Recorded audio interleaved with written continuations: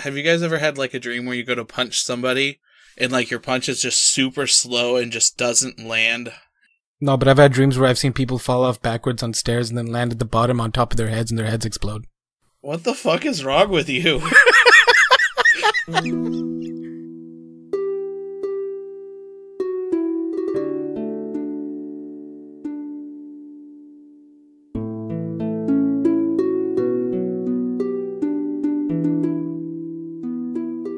Get your dice ready because we are back to another session of Casual McQuest Masters.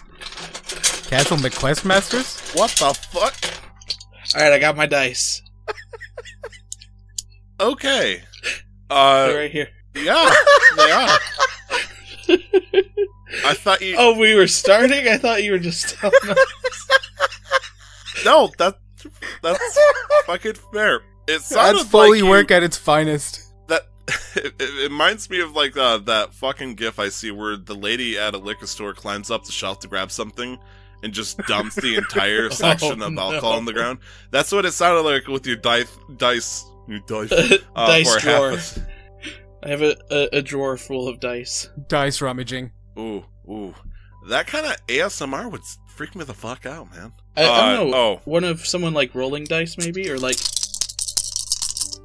it, Yeah. it just sounds like you're running like a toothbrush, the back of a toothbrush across your teeth. ooh, Sounds like chiclets. the fucker The gum? chiclets.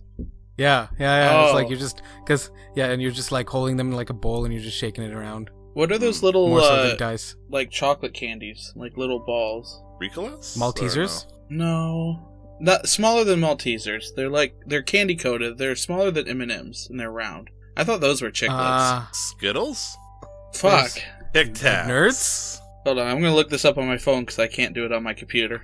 I have my I think keyboard Nick covered. is on the right way. track here. I think I think it's nerds. No, a little bit bigger than nerds, and they're chocolate on the inside. Wait, what did you say before that? My keyboard's covered. Oh, Tic okay. Oh. Do you know Tic Tacs are uh, manufactured in Cork, Ireland? No, I Sixlets. didn't know that. Six. Oh, Sixlets. oh, oh, those. Yeah. I feel like uh, those are like in the same vein as uh, those candies where it's a stick of chalk that you lick and you dip into like Kool Aid powder. Are you talking bad about fucking lick sticks? Yeah, I am actually. Are we just gonna talk about candy? On there's nothing going on with candy today. Okay, so Yeah, you can that's start. over. Nik. Uh, uh, no, I'm keeping this shit. This is Oh, fucking alright. great. That's Nik. Who us- uh, usually plays. Uh, well, I guess. Vol. Yeah, I was gonna say that. Vol that- that- Nightwalker Val Nugoni, a Goliath. and there's Brandon Thresher. Ma- Magdohr Band Iron, uh, youngest of the Band Iron family. The Steelers can suck my dick. And uh, this is Tyler, who plays as Rodger typically. I don't have a fun quote, so I'm gonna have to say sorry across from this moat. Uh, anyways, Glenn is out. Are you gonna nix that, or maybe just Knox it? Oh wait, you're right. because I'm not Rodger anymore. I'm playing as Nox. Ain't I? Imagine, imagine forgetting all of your character progression. Is this Well, what it feels like starting a new game? Or it's when they do Days of Future Past. You know. like every day for Nox is like uh was it 42 or 41st dates or something like that for him? He just Yeah. wakes up with Uh, with uh, Adam Sandler. Yeah. You got to roll a has to watch a d20 to tape see if you remind himself. remember. like I'd I'd imagine like uh it would be a cool effect where you roll a d20 like you said, but it's based off of a five percent uh like how much of the previous day you actually remember. Like if you roll in that twenty, you remember everything, but if you roll in that one, you remember five percent of what happened that day. I woke up and Ah, took like a a piss. scale. Yeah. That's about all I remember. I remember breathing. Uh yeah, Glenn is out uh for his uh four year wedding anniversary. Congratulations. And so uh Yay, Glenn. we we just kind of showed up out of instinct to uh perform you know laboriously to you guys but we realized uh well we don't have a dm so we decided that we're gonna actually take over the Beached Leviathan and just that turn that into our fortress to uh defeat the lord neverember and then just maybe slowly take over the sword coast or we just talk about a bunch of shit This episode 6.5. this is a Kingdom fucking- Hearts style. Oh, I was gonna say Lion King, but sure, yes, Kingdom Hearts Star. uh, it's kind of depressing that that's kind of true, actually. Uh, by death. what? Well, Knox is birthed through the death of Rodger. Birthed. Yeah, yeah, yeah. yeah. Okay. I don't. I don't fucking know. I feel need like more Rodger alcohol. is just yeah. I'm gonna say Rodger's kind of like on the the back burner now, so it would be more birth by sleep. Do you think Nox would ever have uh split personality issues? For sure. Like I mean, Rodger there like let me out, I want to play now. Do you remember that scene where I very rudely, I might add, uh, poured a glass of uh, mead on Vol? Uh, do you remember? I like I switched from being Nox to uh, blue for a second, which caused Glenn to have a table just kind of turn around as this petite half elf just drops his voice, going, "Why didn't you drink the mead, boy?" Uh, uh, yeah, uh, he def or they, since I gotta learn on distinguishing the lack of pronouns, or is it combination? I mean, that's the that's the thing. It's your for me. character. You get to choose, Thank you. right? Yeah, I mean it. It is my character. It just feels weird because it feels like thin ice whenever I'm like trying to deal with something, or not even deal, just like trying to process how that would work. Because you know, with uh, pronouns nowadays, people are starting to be able to choose a little bit more. You know, that suits them. That is Right. them. But it feels rude that I'm like, hey, I get to choose this pronoun. I get to choose that pronoun. It's like, it just well, again, so that's the idea of gender fluidity. There are people who decide on a daily basis what they're feeling like or who they're feeling like. So I don't think it's thin ice, especially because it's a character and you're not doing it out of like, uh, you know, from a place of uh, uh, Spite. malice or spite. Yeah, you're you're you've got a character you're trying to build it, and you're just trying to understand your own character. So I don't think you'd have to worry too much about it, really. So I shouldn't say uh, like I identify as Calamity Ganon. That way I'm. Full I mean, of you can. Uh, no, no. I got you I mean, laugh, can do that. so if It's it's, a it's- bad joke, you laughed at it. I'm just saying. You can. I think Okay. I think as long as you're not like like like Nik said, you're not flaunting it. It's just who Nox is. Like that is Right. Nox. And I think the importance, uh, the audio listeners didn't hear this, so I'll say here, uh, I'm actually, because I realize, much like a changeling, my depiction of what Nox slash Rodger is, is constantly changing. But I feel like they should have a divergent po- persona, or, you know, a main persona to focus on that is pleasing. And being default main number three just seemed like it was boring as shit. Right. And A- so and- I, God, I was gonna say, and I mean, the big important thing is for you to have fun too as a player. You know, whether Rodger thinks it's boring or not, I'm sure you were like, "Oh, this is kind of lame." You know, you want to add some diversity, some 3Dness to your character. Well, the idea was I try to blend in with everybody else so nobody suspicious comes up to me, and within 10 minutes, someone suspicious comes up to me. It's like, well, that plan did not work. Hello, Algira. And so I just, like, She's- I realized, like, she's good, and obviously standing next to a giant Goliath doesn't help my case either, admittedly. Uh, so that being said, I am trying to get an art commission done by a uh, pretty talented artist. I I want to wait on like names and once it until it's completed. That way, you know, something happens and they back up. But uh, by doing that, that way I can visualize them a little bit better by seeing it in a picture and sticking to it instead of saying, "Hey, I'm this new skin today," which technically I think Right. I've done almost every single episode after the second one. It, I don't think it's been a problem either. I think having a changeling has brought some interesting dynamics to everything too. I mean, the uh, whole scene at the Fallen Tower with Blue Vol and all of that, like that Yeah. progressed you guys significantly as a relationship. Also, question for you, Brandon. Yeah. Uh, on Audacity, did you switch it from your microphone to VoiceMeeter? Uh, cable input, but yes, Yeah. Okay. Okay. Okay. Just sorry, I just wanted to make sure. I Brandon's actually have trying it running to. underneath you. I'm watching. He, he's improving himself uh, audibly with the power of virtual cabling, which some people say is the devil, but I like it. I mean, it is to get it set up and understanding it if you're not well versed with um, physical like mixers, um, because you don't have like a physical idea of like a mental image of how things work, and you're doing everything like uh, like with uh, virtual cables and stuff. It is a difficult concept to grasp Well, initially. I'm not used to three channel mixers. I normally use uh, 42 channels. Um, ah, okay. So no, for real. Adjust Both, you are a glasses. man of culture.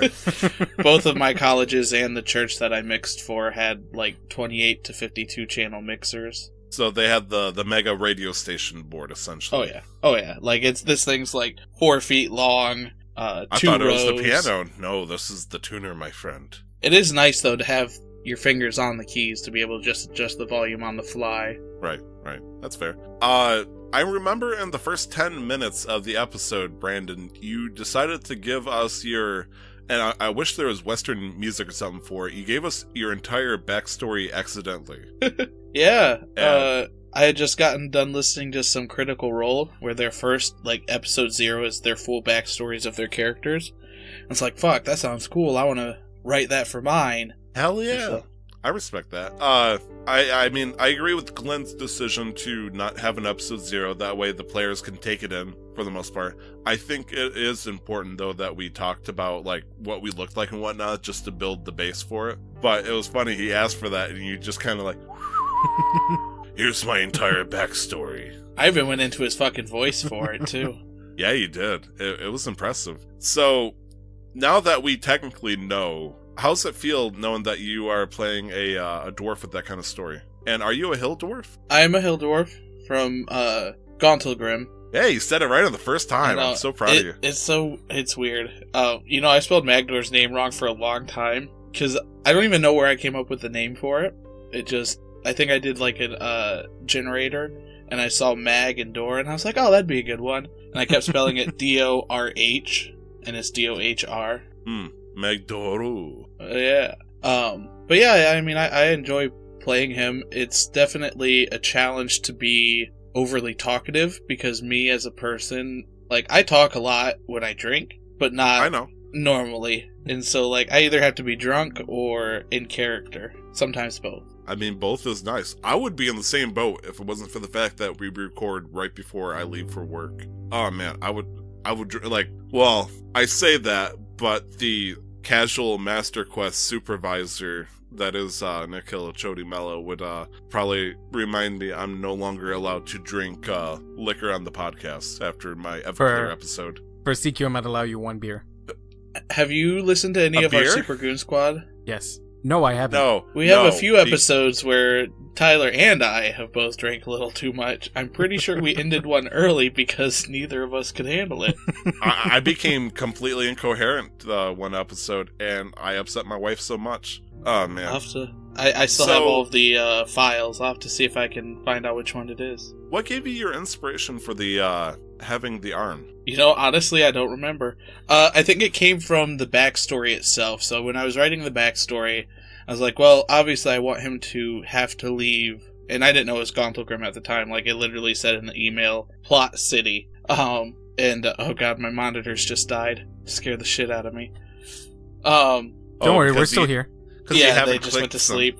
Yeah. Are you making fun of somebody else that no, freaked out it that is- literally just happened. My heart stopped. Uh, I wasn't referring to you. I was referring to Nick. We had uh, a certain person of the team uh, not touch his keyboard so long that his monitors went to sleep, and he Mhm. thought he lost power or something like that. That was my first thought because we actually had a power outage yesterday because of the storms. But um, Yeah, the storms are. but yeah, rough. so I wrote it as Plot City, and obviously he was like, "Oh, well, we're doing it in Faerun. Use Gauntlgrym," and I was like, "All right, cool." Um, but I, I had to come up with a reason for him to leave the city, and I was like, "Well, Gauntlgrym has a new ruler after all of the shit that's gone down." Um, and uh, Oh, sorry, I didn't mean to cut into the speech. Sorry, uh, just since uh, Brandon's testing out Voice Sorry. Meter Banana, it might be my fuck. I mean, do whatever the fuck. This is the who, who the fuck cares episode. Uh, I'm hearing popping noise whenever you talk. I'm hearing it from you guys too. I thought it was just Discord. Do we want to try Oh, switching okay. to region real quick? Yep. I will switch over to the west. Ah! oh, Do we need a clap? Oh, I was gonna say. Hell Nik yeah. West Coast, best coast. Um, okay. so I'm gonna keep talking. If you hear it, let me know. But uh, so I had to come up with a reason for him to leave Gauntlgrym, and under the new ruler of the king, he was gonna have a competition to see who the new royal family was for blacksmiths there, and um, obviously Magdohr was put up for his family, and he lost. And so it's like, well, you know, they're not just gonna kick him out. Dwarves are ruthless, so they're gonna cut off his main smithing arm and send him out. So, is this the king of Gauntlgrym? Uh, I believe so. I don't know if his title is actually king. Let me let me find out. The the leader of Gauntlgrym. Okay, I mean either way. But yeah, I was gonna question. It's like it's weird that they would have a smithing contest of sorts, you know, and being a blacksmith, I can imagine being a very important role in Gauntlgrym. But the joke is, LOL, you lose your arm if you lose. And it's like, why don't you just shame him for like two weeks so he can keep doing his job for you? And it's weird. You know, the, the king just doesn't put up with slackers. It's a hundred or nothing. And so the Steel Ore family had If you're not superior first, you're last. Yeah. Ah, good old uh, prehistoric Amazon.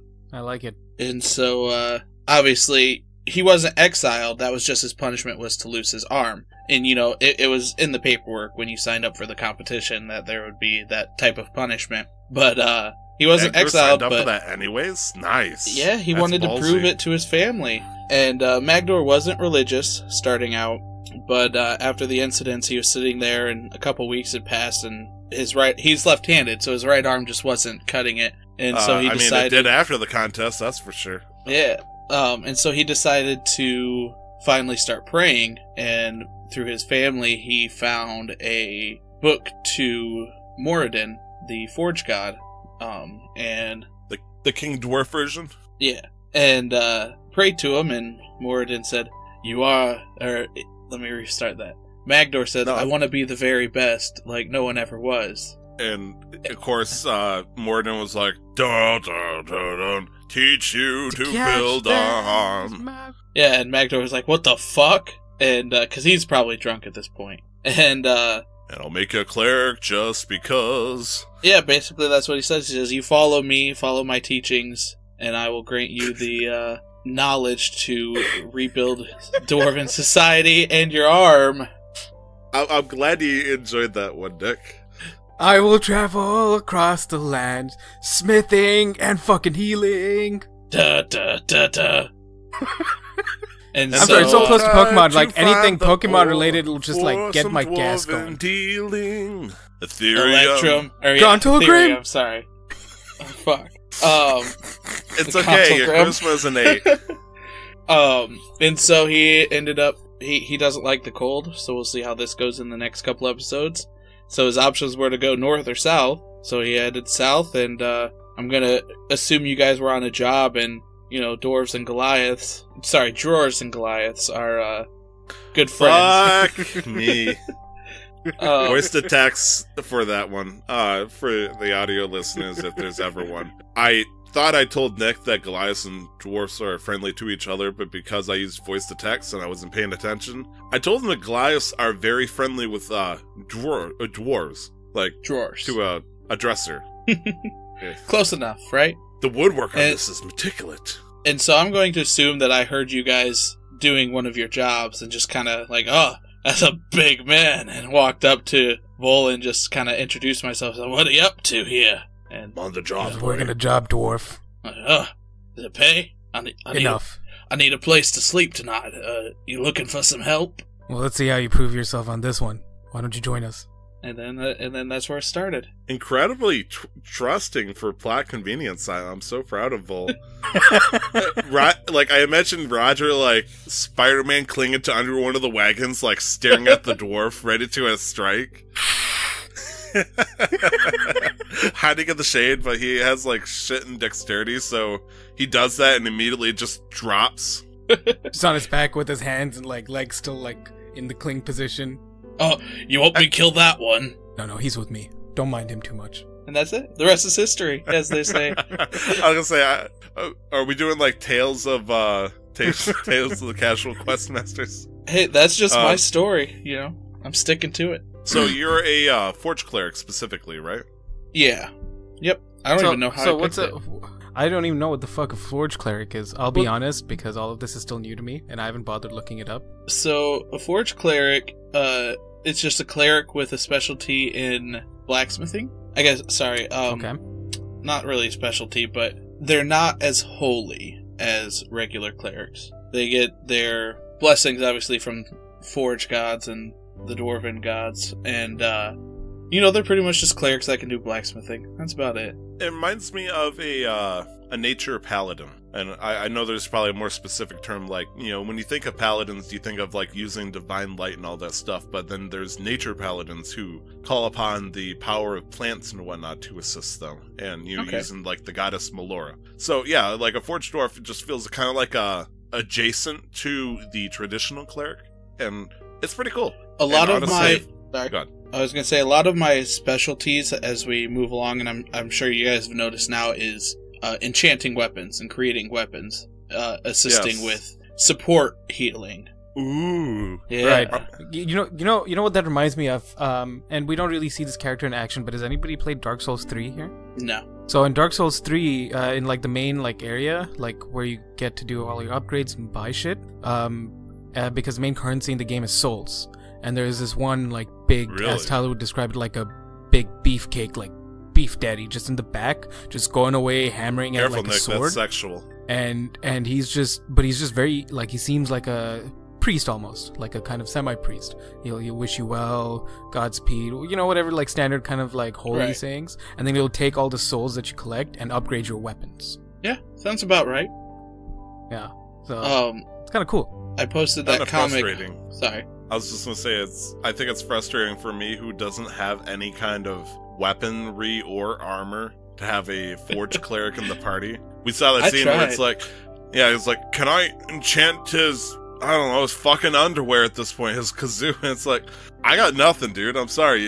And so like, it makes sense. Dwarves and Goliaths being close friends to each other. I think uh, it, it gives a good support dynamic for uh, Magdohr and Vol. I'll help you out. yeah, one I of think these especially days. Yeah when um well, I think once our powers flesh out a little bit more, especially because uh, like formation will be me or at least Vol on the front line, um, Magdohr like kind of in between the front and the back, and then uh, Nox sitting in the back. So you wouldn't need to be as hands on as we are right now. Like I would imagine maybe like level 10 level 12 you'll have um uh, obvi- uh, like i don't know what you're gonna do with your character but you'll have ways I'll to be put dead, like let's create be some real. distance I Um, don't expect this yeah. character to get past level five. I think, uh, or like depending on uh, you know uh, the the I think we can speculate at least or mention and not go into details. But the multi-class option presented in whatever way will give you some proficiencies in different tools where at least some of the blessings could be useful. or True. you know, I mean, we all know that I saw the Raven Queen last episode, so I, I mean, what, what, what am I gonna do? Make a pact with her? you eh. might have a dagger I can plus one for you. Yeah, I mean, I guess I could use the obsidian dagger that is, you know, fostering this potential energy I could call upon if I sell my soul to it. Oof. But yeah. oh, that comic! I, I just wanted to say, did you get to see that comic that I posted earlier on the Casual Master Quest Discord? If you'd like an invite, Okay, I was gonna say me an email. which one. Um, it- it's on a public one. I'm pretty yep, sure. yep. I I was worried you were gonna talk about like a different comic from uh, your channel, which would be uh, No. mmm. Yeah. No, no, it's the one I posted on the uh, Casual Master Quest of the guy who's injured and someone brings him and says, You gotta help and it's just this blacksmith out of forge says, I'll see what I can do and then, you know, he goes down and like, How you feeling? And he turned the guy into a sword. He's like, I guess I can't complain. Forge clerics. yeah. Healed. Forge It was just too perfect. you. But yeah, Magdohr's fun so far. It's like it's like forge clerics are like healers, but they're just so obsessed and like metal turns them on and weapons or they just get a hard on for it and then it's like shit I gotta heal but I don't know what to do. I know I'll give you the most perfect form any human or being can ever possess and take on and turns them into a sword. Oh, I would do that. I would do that for you is in instant curse. full. Um and I, I did want to Imagine I one thing, lose my arm and you just give me a blade. For an you know, dual wielding. I imagine you with a chainsaw for some reason, Vol. Like, oh, I'm not gonna stealth for this one. Um. Anyway, uh, there's something I the wanted. door I, I didn't slacked, want to really not for long. retcon it, I wanted oh, sorry. wanted to I'm explain sorry. a little bit. So when we were at the bar in the last episode, and the Yeah. uh, um, barkeep, bartender, the guy who brought us the alcohol, he mentioned uh. Uh, I, I kind of rushed the reaction, but Magdohr's reaction to that was half of, "Oh shit, I have to go talk to this other dwarf to pick up my stuff," and I really don't want to talk about what happened there. And so it just Right, kind of came right. off as like, "Oh, I gotta go," and then he left. I'm. Would you say losing that contest was probably one of the lowest highlights of your life? Then at that Oh yeah, point? Mag- Like, Magdohr didn't even drink until he lost. No, no, I'm just kidding. He's a dwarf, so he drank all the time. he, he had a Okay, stein oof. coming out of the womb. really trying to scare me for Halloween. All right, Ugh. Yeah, Um, it was spooky. But no, he definitely. I mean, from when you came in and talked about uh, Magdohr, even stated like, I'm not sure I can even forge anymore, you know, or I don't know how good I'm gonna be. Like he lost his arm, he lost all of his confidence in his smithing ability. It, it was a really low point for him, and that's why you know he turned to religion for him. I mean, honestly, from a natural standpoint, when you think about it, it makes sense because people do that in real life too, and it, it's made them better people by turning to religion. Uh, I'm trying to think about mine, but Vol. Yeah. You, you your previous character that you got to play as was a uh, a bard or is a bard right now. He is a bard. Okay, Tyler, you're the DM. Are you? Is there something you're not telling me? Tell me that I was a bard. Bard no mean- more. Uh, shout out to uh, the D and D podcast Guild Guild Fellows, where it's a person who is uh, thinks she is a halfling cleric, and not halfling, a half elf cleric, but it turns out she was actually tricked, and she's really a tiefling warlock. So she's like, "Oh, I'm gonna use my cleric spell, Eldritch Blast," and it's like, there. So I mean, the cards See, are that's something that there. that's something that would have happened to me because that was my first character, first time playing D and D. And if you were like, "Here, we we made this for you. You're a bard," and I'm like, "All right, I'm gonna attack with my longsword and use divine smite." What? the power of music compels you. you just smite him by beating him with a mandolin or some shit. So yeah, um, yeah, you were asking me, Tyler. Uh, so you play a bard, and what made you want to switch from playing what you you describe yourself as the person that loves being a support type uh, role? What made you decide to go for something a little bit more aggressive, damage dealing? Well, it's not so much that I love playing support, like I enjoy playing support, and when I was looking through everything, bards are probably some of the more easier ones to get into, I think, outside of your standard fighter because of how many options you have. And then I just happened to pick because I was thinking more of the narrative when I when I first made the bard. His name's Brahm, and I'm like, oh, you know, it'd be really cool. Like interracial shit is cool, so let's make him a half elf, and then we'll just make him a bard, and he wanders around, casts spells, sometimes slashes things, and it's like, oh, look at this, you created one of the most optimal like characters in the entire fucking 5e game, and I'm like, Oops, all oh, DPS. shit. um, and then with with um with this character with Vol, I uh was looking. I started off by looking through classes, and I'm like, hmm, Ranger seems kind of cool because a Ranger reminds me of Aragorn. Because Aragorn was in the movies described and the books described as a ranger, and Yeah. then I'm like, what is so in 5e? What does that entail? I look through it. I'm like, it'd be really cool to be a ranger, but let's play. Let's pick a weird race this time, um, or at least like a not super great matchup when we're looking at being optimal. And Goliath was like, yeah, there's a guy, same same uh, guide that you shared with me for my when we were working through my bard uh, character at the start with the giant in the playground. Has a fantastic guide for rangers as well. And it's like, yeah, a Goliath is not great unless you're gonna go for a strength ranger, but even then, it's not super great. And I'm like, okay, but is this big hulking man who's trying to be like kind of stealthy?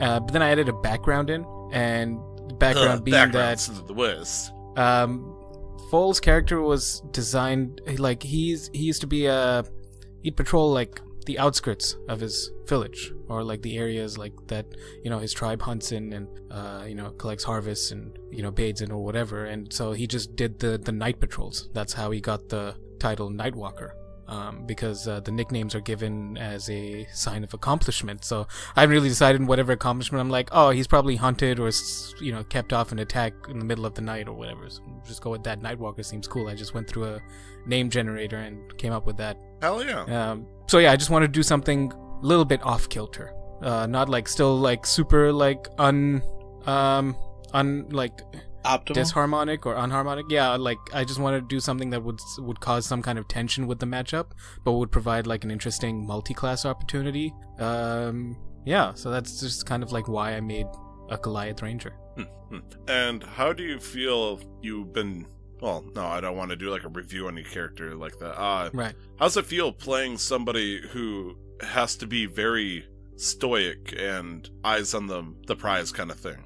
It's not me, it's strange. It's very hard. Like, I think the most Vol has spoken was the last episode. And my only excuse for that is the fact that he was probably drinking and getting ready for a new job. And he probably drank a little bit more than usual. That's that's fucking fair.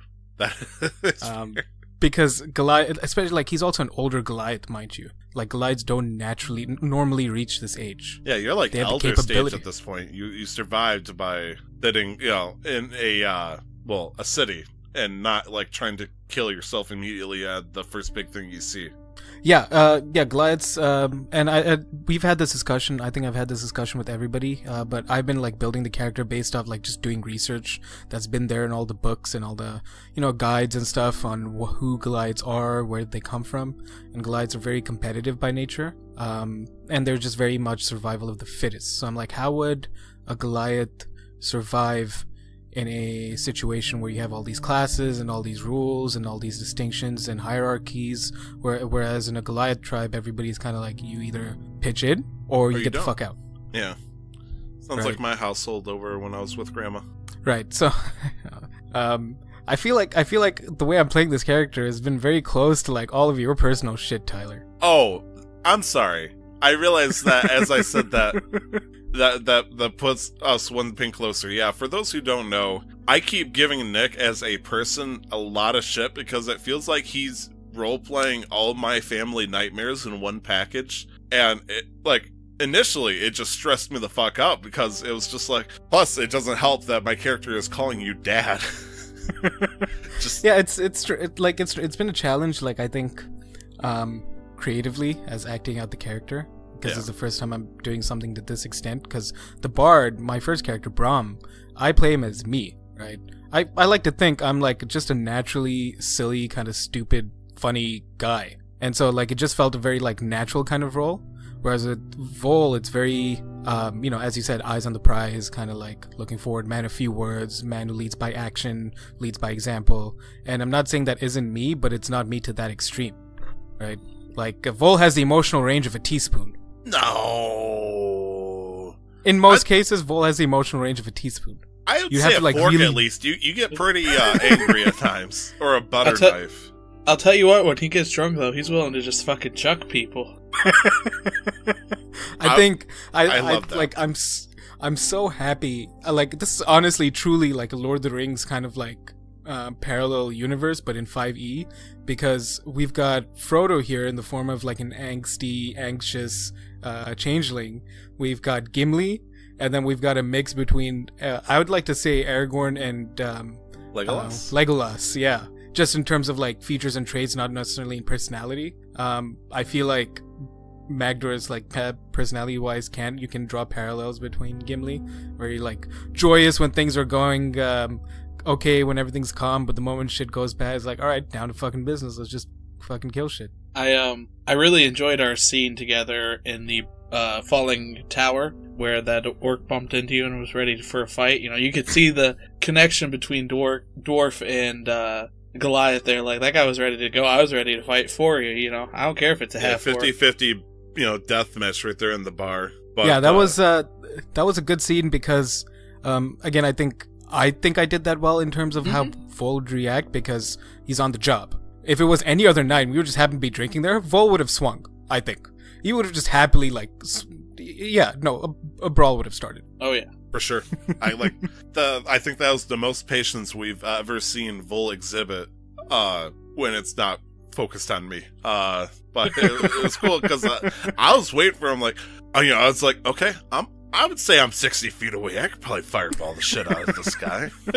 And then you miss and hit me instead. Okay, okay, So that is true. Tyler, Me. we've talked a bit about our characters, but we have nowhere near the complication or complicated story of Rodger Nox. Uh, no And last I'm name. not gonna lie, the more I spin the web, the more I realize I'm getting myself into a complicated plot hole. Like not a plot hole as in the actual term, but I'm digging myself in a hole full of plot that I didn't want to be in. Because the for Rodger, now Nox, well, I always knew from the beginning that this character's name was Nox, their natural name. Like anybody who could see my character sheet would see that, you know, it said Rodger slash Nox. Because uh, as a changeling, changelings have usually one syllable simple names, and I just like the name Nox. And uh, I'm, guessing it's pretty a, a pretty common name because you know my emo changeling. But my point is, uh, I just wanted to build a character that could act like Roger from American Dad. You know, just dress up in stupid outfits and then try to role play, and everybody somehow believes that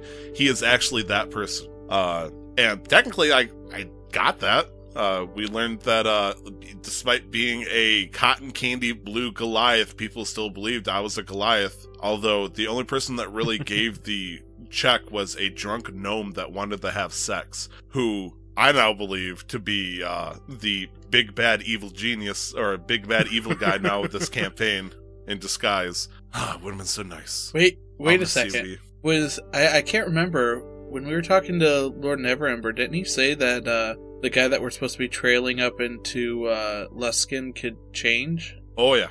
So if Elgira, who never told us why she got uh, suspicious that they were going to be ambushed, if we're going to go into uh, my uh, cork uh, board on the wall with my string and stuff, since we don't know, it could have been anything that you know tipped her off. But meanwhile, if she was suspicious that there were signs of you know bad things going on, just dur- during that scene, Glenn could have easily put a character that we all saw. You know, was like, oh, it was that guy that was you know it was V. Right. But anyways, uh, so yeah, I wanted to be a changeling because I thought it'd be fun to do to be able to cast uh, disguise self at will. The problem is though, it turns out I am a min maxer at heart, and so I had to avoid that because my heart and soul screamed that I became a half elf because you get all the optimization.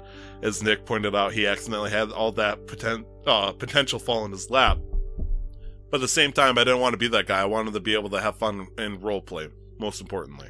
Uh, problem with that, though, is my changeling side's all that I can use for roleplay because my sorcerer side, I have like two slots to do two spells. And if I do that, any of that for roleplay, it means I'm even more useless somehow for combat. But uh, I decided, I and I realized this: I've never played a character that fights in melee distance in D and D ever.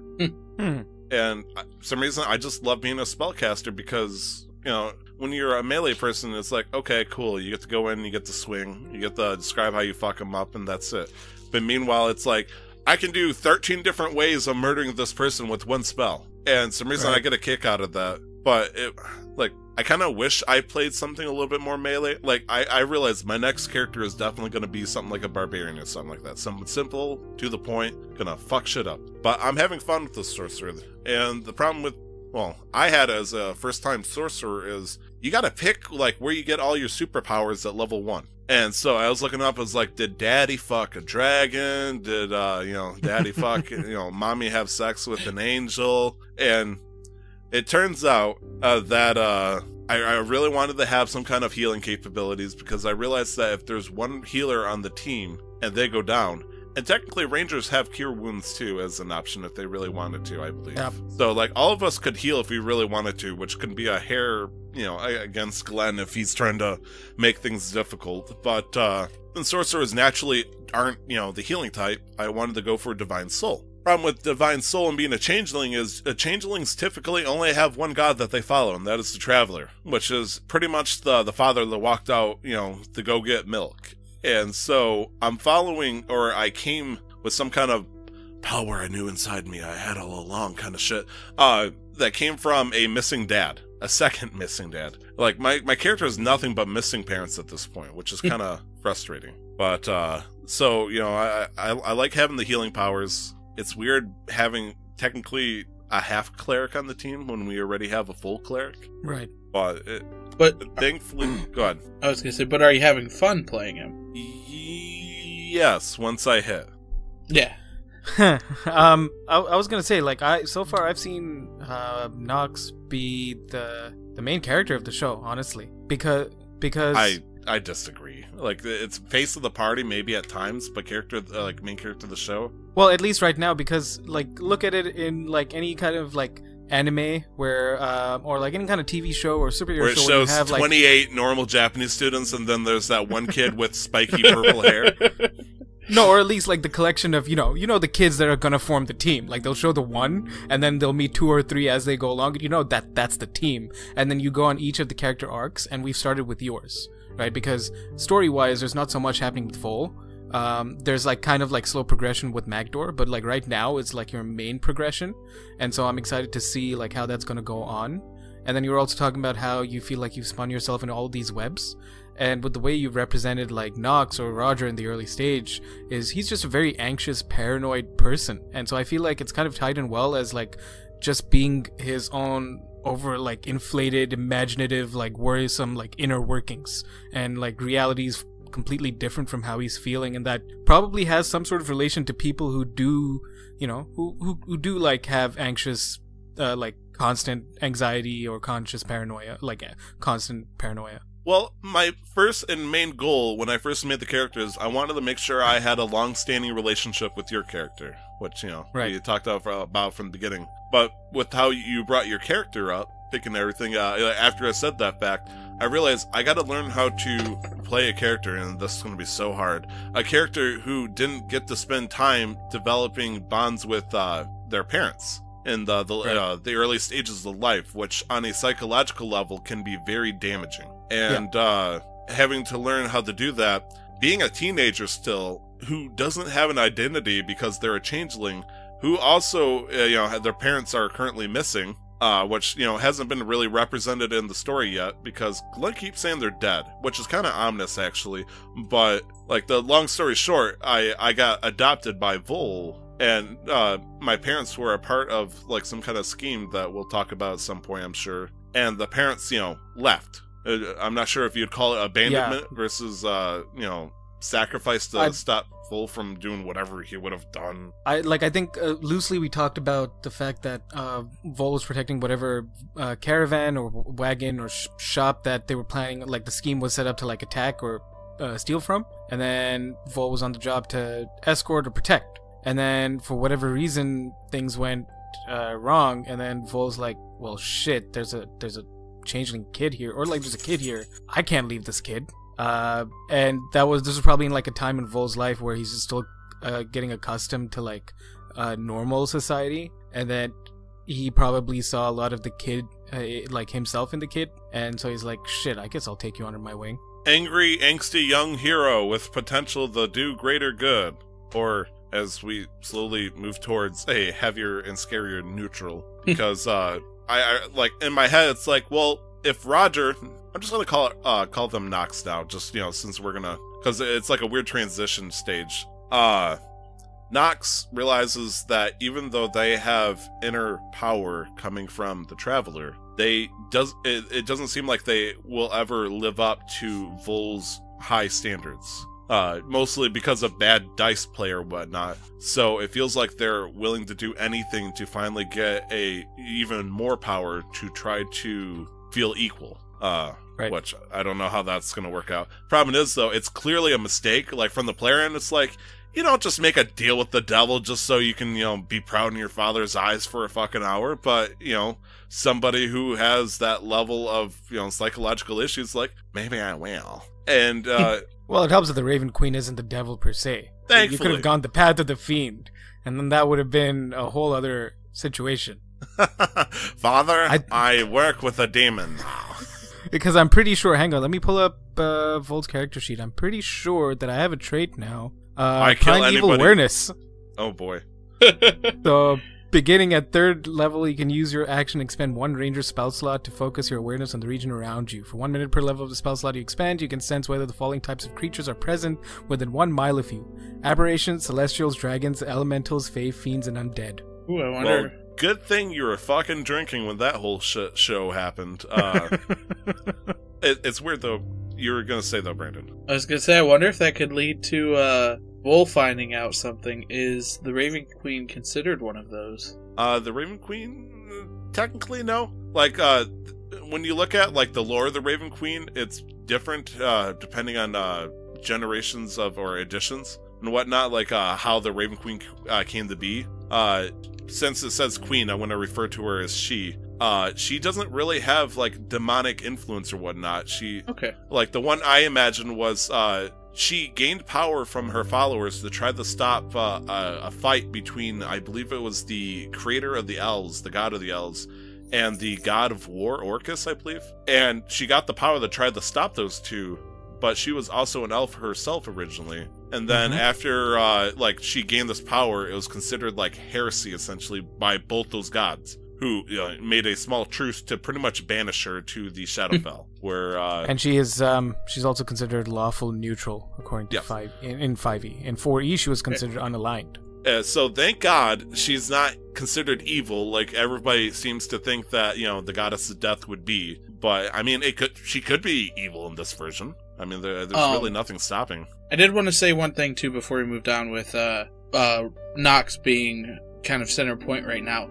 I have absolutely no problem with being a secondary character. You know, like I don't I, want to love be Ash lore. Ketchum though. I like being a show horse during scenes, but I don't want to be the guy that stands in front. Like I- I don't know if you were watching during your Raven Queen scene of the last episode. Like I was like up on my monitor watching you, like listening, trying to figure out like, oh shit, how's he gonna react? Like, oh fuck, what's that mean? Like, oh Yeah, shit, last, he's yeah, last episode now? was fantastic. I think. Yeah, It no, it like, I was great, listening to myself, I wasn't even playing. I do Yeah. remember that part of the episode where I I kind of got embarrassed because like this scene's taken way too long between me and the DM in my head, anyways. I'm holding out Nik and Brandon from playing their characters. We need to move over, and then I you know I say like, all right, it's taking too long. Let's move over to these guys, and then you guys are like, keep talking, please. We yeah, we want to yeah, see how you. good. I mean, the Raven Queen is a goddess. You know that that that is like she can flick her fingers and you turn the dust and kind of shit. And so it's like being at level three and having that right in front of you. It's like that, that's a big oh fuck. Uh, don't say anything too stupid that could piss her off. Thankfully, Mother is very kind, as it turns out. And it, it, I don't know why I wanted to call her Mother. I think it's the whole Sephiroth from Final Fantasy VII situation. You know, you know when you said that, what it reminded me of was the Thieves Guild from Skyrim. Uh, the Do you- whole black uh, hand thing, or Yeah, uh, so yeah, not the Thieves Guild. Sorry, the yeah, the uh, Dark Brotherhood? The the Dark Brotherhood. Yeah, and they have a deity called the Night Mother, which is a corpse in a sarcophagus that they worship, um, who gives them their um, missions or their contracts. Um, and and they call they call her Mother. And I was like, this is some dark bullshit. I love it.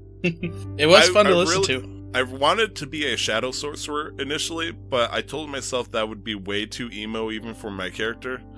But the fact I managed to somehow traipse my way back into, you know, uh, I, I could potentially be, you know, making a pact with uh, one of the rulers, if you will, of uh, Shadowfell. And it's like, yeah, that's still emo. Shit, I guess I'm all back in. Uh, so yeah, I got that going on, and it's kind of weird. I have to avoid metagaming too much because when you heard me talk to Lord Neverember, I'm saying you know I want uh steel and shit for armor, but there's no reason why uh Rodger at the time would want any kind of armor when he knows uh, he couldn't carry it or wear it. Well, Yeah. I, well, I mean, we could just work that in as like, oh shit, you just got fucked up.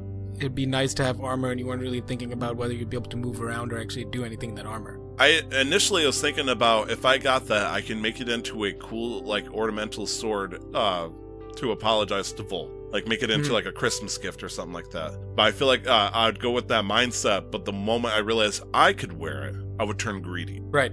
Right. And I mean, you did talk to Magdohr earlier, asking if he could forge stuff like that. That was before the meeting, so you definitely had it on your mind at the time. Right. Uh, just got to be careful with you know trying to put the the cart before the horse. You know, hey, uh, you know, I'm planning on getting armor, knowing that uh, in maybe like five episodes or whatever, I uh, I hit a level where I go into you know Hexblade Warlock, so I learn how to use this armor that I just happen to have. What were the chances? Her, it, it is kind of metagamey, so I'll have to figure out good lore reason why I initially wanted it in the first place. Which Could I- talk. ahead. Sorry, I say maybe the Raven Queen suggests it. Well, I tried saying that, you know, and showing out through different parts of uh, the beginning of the episodes where uh, he talks to the dagger. Uh, in essence, he's been, you know, having maybe very small conversations with uh, the Raven Queen or maybe an agent that's been kind of like a, a recruiter, if you will. Like, hey, if you sell your soul to us, we're going to give you this nice, sweet deal uh, with great APR on the car.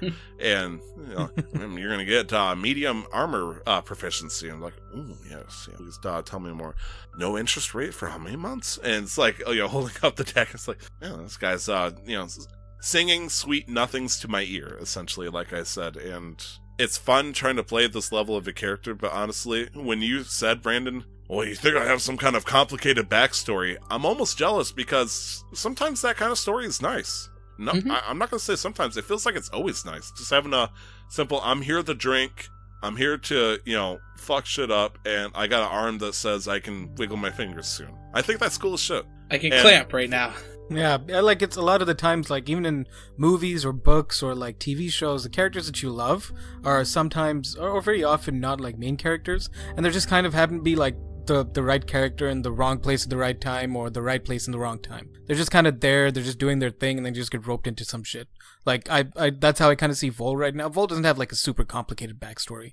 In Goliath culture, he couldn't provide. He got injured when he was younger, and he couldn't keep up with the demands of the tribe that they were asking for him. Because even injured Goliaths are expected to contribute in some way, and so because he couldn't, uh, they he he was exiled, and then he just wound up in Neverwinter, and then wound up, uh, you know, adopting um, Nox, younger Nox, who was who I guess didn't have any identities then, and then wound up working with Magdohr, and now they're just doing jobs. Like it's just you know, um, it's the You're stuff that collecting happens to gym them. badges, and you got the gym leaders, which for some reason was a five-year-old changeling. Yeah, no, it's it's uh, it's good. Like I think having some complexity is nice, but also having characters with the simplicity is good because I see it as like again, it depends on how Glenn spins the story to us and how things progress and develop. You're getting all your complexity out now, right? Because you, you, uh, you've mentioned you are a teenager. You're an angsty teenager. You're getting all of these things out: self-realization, understanding who you are, understanding who you are as an individual, your powers, where they come from, and at some point, uh, Nox should stabilize. I think, like uh, like as a character, and when then that happens, then the complexity will happen to other characters.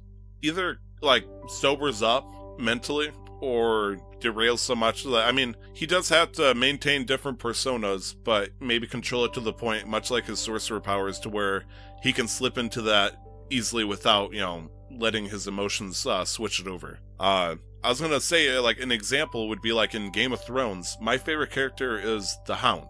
Now the Hound. Oh, I love the Hound. Yeah, the Hound does have like maybe a slightly. It's not even complicated though. You know, he got fucked over over a simple fight over a toy, I believe, with the Mountain, Mhm. and you Yeah. know that's how he got that, and which led to his uh, personality, if you will. But beyond that, he you know is either just following orders, and then eventually he's just following what he thinks is right. And it's a simple character, but I love him over that. Whereas you know you got fucking every other fucking character in Game of Thrones. yeah, because just through that, it's just kind of like that's how is you know, right or wrong, he has his own set of like justice, and he's not an evil person. He's just doing what he's told for the most part. Um, and you can see like a lot of the decisions that he makes later on in the show. Uh, he has a sense of justice, and it's a I feel like it's a fairly morally good sense of justice. He just happens to kill people. He's an asshole about his justice too at times. I like to think, which is fun. Yeah. Like uh, I that time where uh, I think people are going apeshit, and then Sansa was trying to run away, and people caught up on her, and before they're about to do terrible things, Hound was like shink shink, and then he, you know, he was like, "What are you doing, girl? Dumbass, come here with come with me," and you know, just shit like that. And uh, anyways, uh, I'm trying to think of anything else uh, we should talk about here. Um, Want to talk? Want to talk shit about Glenn and how great he's doing as a DM? I don't know if that's talking shit. Let me roll a d20 and see it uh, where this shit talking goes. Let's see. Uh, I rolled a seven. I don't know. Let me roll my means. actual dice because I that feels like passive aggressive, Brandon. passive aggressive. Glenn is one of the best DMs I've had. I rolled a thirteen. I don't know what that I've means. had three Um, DMs. He's in the top five. Nice. That's pretty. It's a pretty high ranking. Uh, Glenn is the second DM I've had, so he ranks in my top two. Okay, I was Um, waiting for you to say something very dangerous here. He's Um, my favorite DM no, I've had so far. And I was like, that's passive aggressive. I'll admit it. It's uh, it's different DM styles. I can't really rank uh between you and Glenn. I would Um, You never fucking ask you to break, You know, you both are good in your own way. Uh, but it's true though. Like Glenn is very much a like progressive build as you go. But Tyler, you have like shit planned out. Like not that Glenn doesn't have it planned out, but you have things planned out to like a little bit like a more detailed level. I built a Lord of the Rings story for like the maybe like the first half of the plot, and then once I did that, and I, I'm starting to take little things that you guys have done here and there to try to bullshit my way into a more interesting plot, which has worked successfully so far. Like I didn't know how the interaction between Ellie and uh, you know her druid mother was going to handle out, and like I honestly, once I saw that Bertram was always the person that you know no nonsense. Once he executed Jasper, uh, the knight, just you know, I was like, okay, he's willing to do some dark shit if I give him the option to. Let's give him some more power to see if he accepts it at the risk of becoming an oathbreaker. And then no, it makes sense because you're introducing plot elements and then bringing them back full circle at some point. Um, and so it kind of ties up all the things that we've done together so far. I, I, my favorite thing is I like the idea of you guys doing whatever the bum fuck you want, but every action you do is an answer to a question on my survey on how I'm going to treat the next thing. And Right. event eventually we're going to hit a ending in the story of some like maybe not ending but a consequence where it's like you reap what you sow in a certain direction, which Right. will be I know that the way I say that sounds scary, but it, it's No, Also it's good because we've we've we've talked about this plenty. Like we've asked for harder fights, and you tried to do it, but without like completely destroying us. And we've had some good challenges. I'd like to think so far, and it's interesting because right now I think that me and Ellie have kind of been the voice of reason for this arc that we're on, which is play. We're, we're, I'm not used to it. No. It it is weird because half it feels like half the team is like uh murder hobos who also happen to love to roleplay.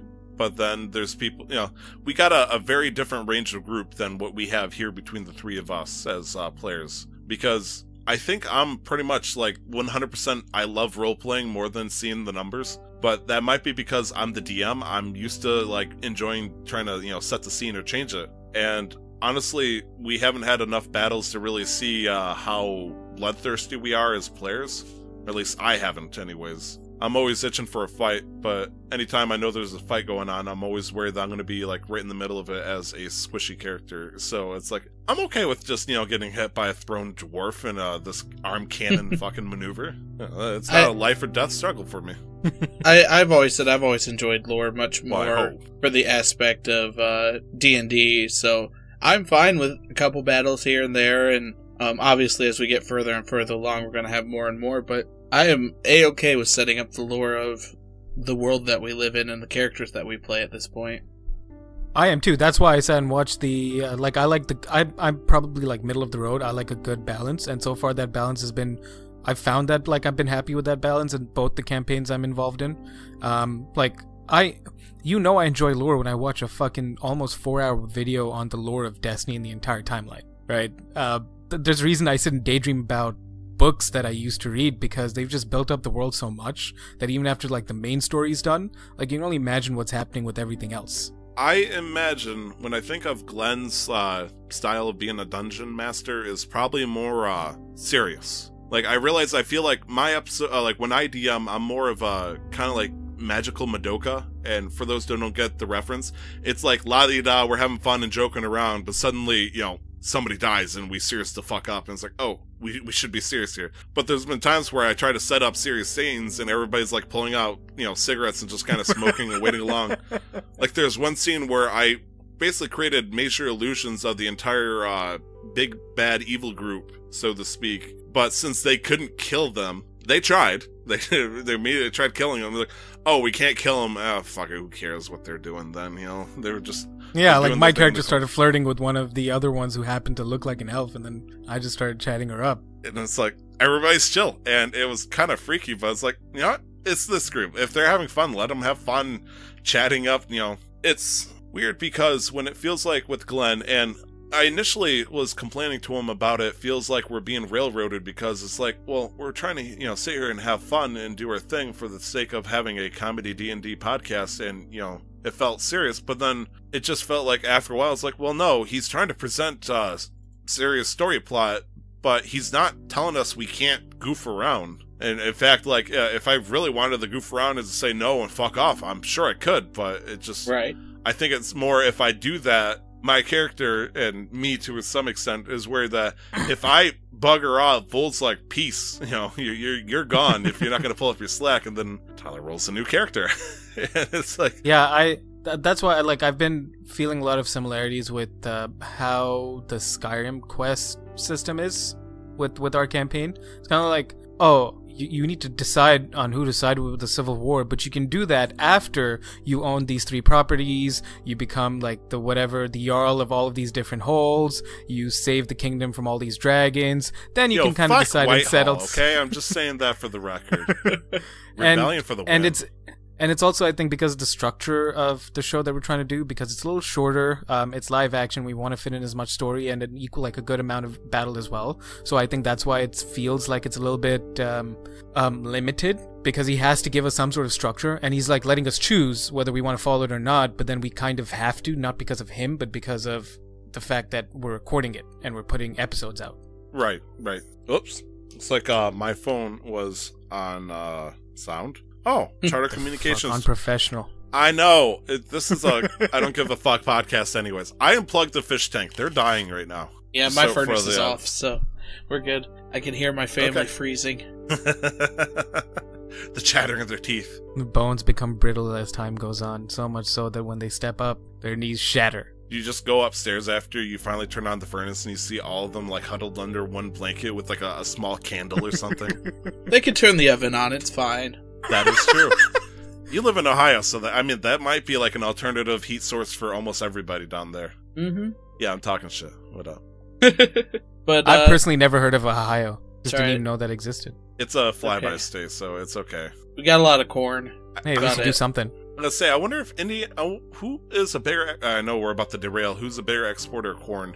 Indiana, Michigan, or Ohio? Well, Michigan's export is soybeans. I know that. Okay, That's their you see a lot of fucking cornfields in Indiana, though. I wonder, like, Yeah, but I don't know think about Ohio Indiana or has more surface area, so. I can Um, tell you it's potatoes for Idaho. Yeah, Oh, Um, really? Says the owl. but you know, I- can I make my joke real quick, guys? Come on. What what, what comes from Florida, Nik? What comes from what large orange fruit comes from Florida as a major export? Tangerines. You you do know that I'm not a North American native, so I'm learning things slowly about the continent. Tyler, how dare you attack me like this? I just came out to have a good time. I didn't grow up here.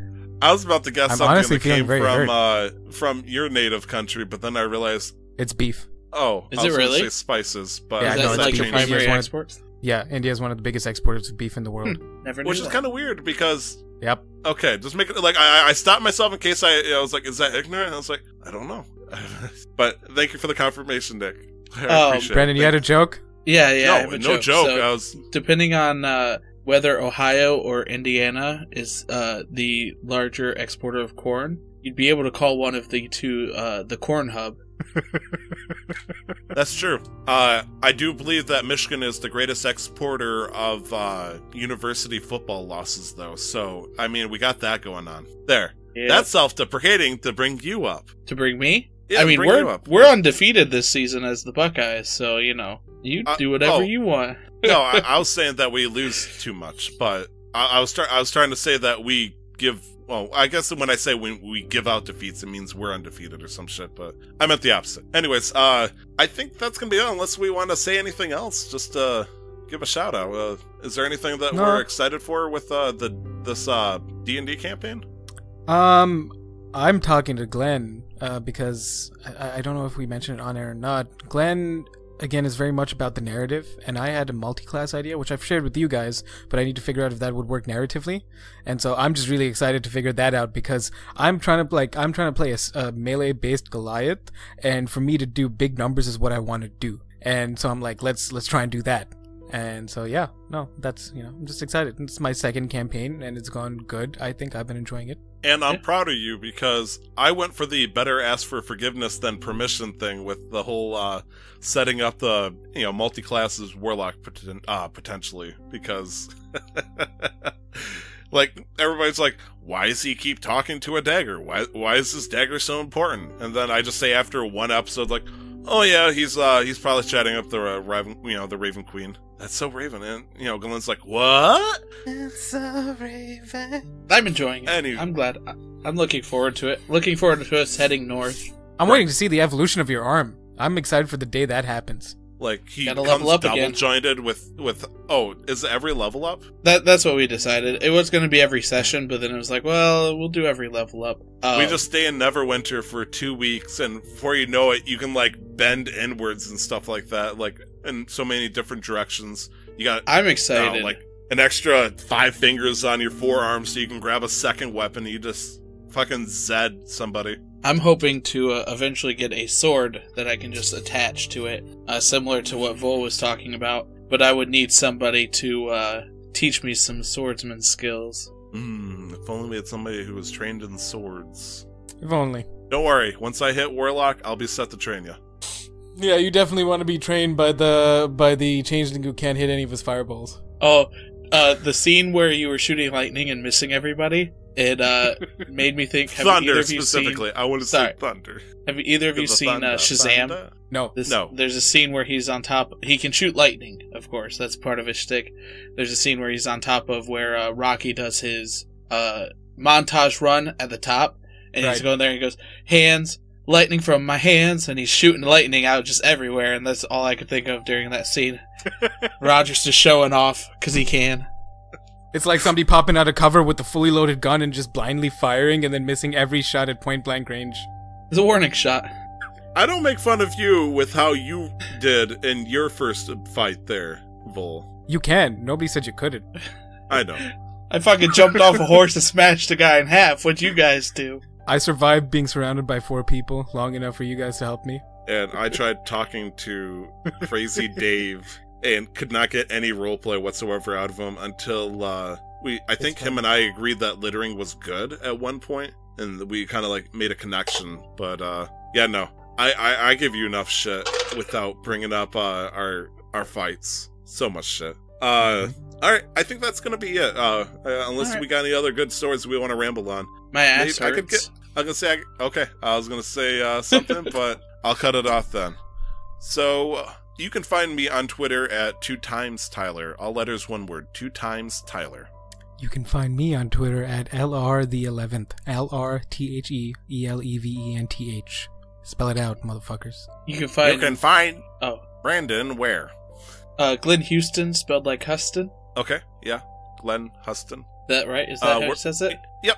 Uh, how, where can we find you, Glenn? Uh, at Ziggsagoon, I have a total of zero posts. Ki- yes, you And do. you're not even following all of the CMQ team. I'll get on it after this. I'll post my first post after this recording. Just for our sake, could you spell out Ziggsagoon? That way, they're not trying to spell it like the Pokemon. Sure. It's a mix of the league champion and the Pokemon. It's Z I G G S A G O O N. So Ziggs, which is Z I G G S, and then Yep. uh, and Yep. then Goon, as in Goonies. Goon. It's in Goon Okay. Squad. Uh, like I noticed, like there's times where I listen to a podcast and they'll say they're, you know, hey, uh, let's say my name real quick, and it's like, how do you fucking spell that? Say my name. Say my name. Uh, we are a part of Casual Master Quest, a podcast network dedicated to giving you the video game news and tropes you deserve. You can find the show everywhere you can Google and on Twitter at MasterQuestPod. Glenn, our uh, beloved host, happy anniversary to him and his wife, is a part of a sister D&D show called Ready to Roll, where you can find more of his and other talented players as they continue their quest in the Forgotten Archipelago. That was Nik. That was Brandon. Where's Glenn? And this is Tyler. We will see you next week with another session of Casual Quest Masters, and don't forget to never stop the quest. Bye bye. Bye. bye. I'll miss you. I'll miss you too. I was kind of hoping Glenn would just like show up right as we were exiting and just go bye bye. Hey guys, uh, roll for recap.